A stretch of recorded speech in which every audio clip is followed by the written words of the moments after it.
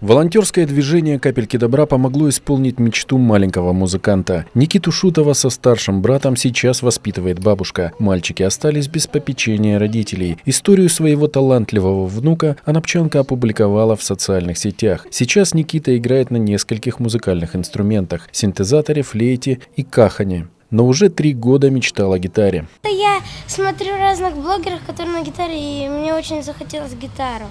Осуществить мечту десятилетнего музыканта помог анапский магазин музыкальных инструментов. Кроме гитары, его сотрудники подарили Никите несколько бесплатных занятий. Нравится гитара? Да, очень. Да. Мы уже исполняли мечту ребенка Матвея Кананкова, да, мы ему собирали на дельфинотерапию, он очень мечтал об этом, мы помогли осуществить его мечту.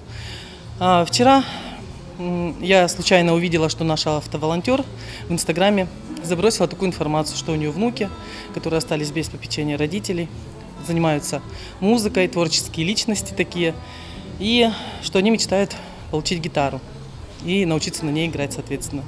Вот, я, конечно, ну, что называется, ёкнула. И я обратилась в магазин «Солист» к Виолетте Романовой, и она откликнулась на нашу просьбу.